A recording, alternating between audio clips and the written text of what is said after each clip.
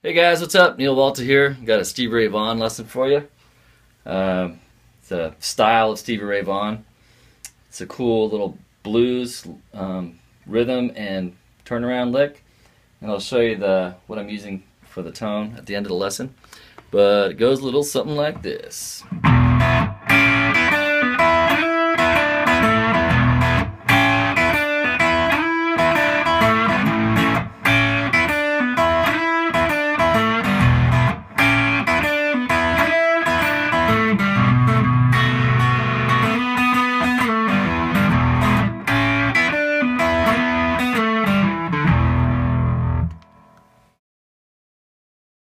The key to good um, Ray Vaughan rhythm is definitely in the right hand, and uh, it's the swing feel which really drives it.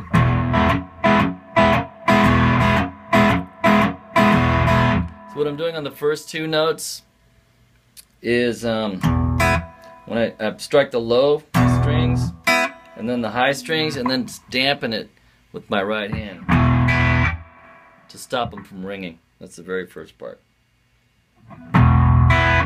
And then I go to these two notes right here and bend up slightly. Strike the open E. That's down the blues scale.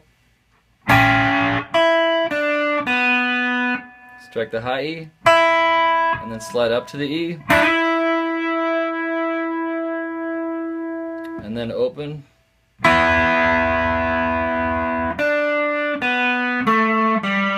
Down the scale again. So one time slowly.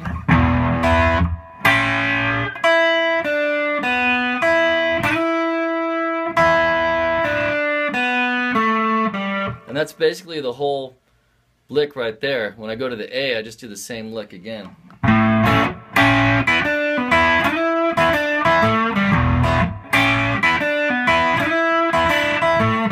then B7 with the open B string.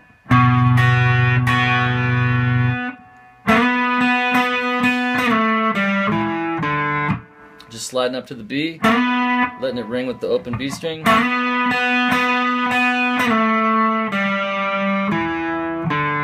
to the E.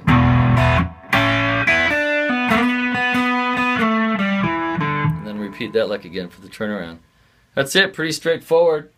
Um, for the tone, I'm using the Mooer Rumble Drive, which is modeled after the infamous Dumble amps, which are very rare and extremely expensive.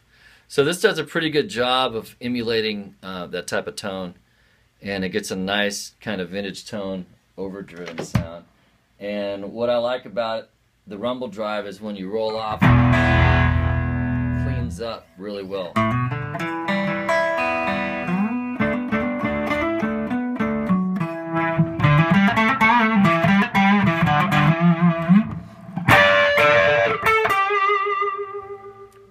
A little bit.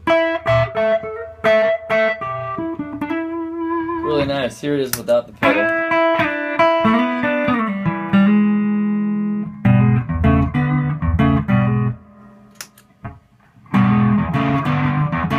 Gotta uh, drive about halfway in the volume. About 12 o'clock, about halfway also. Yeah.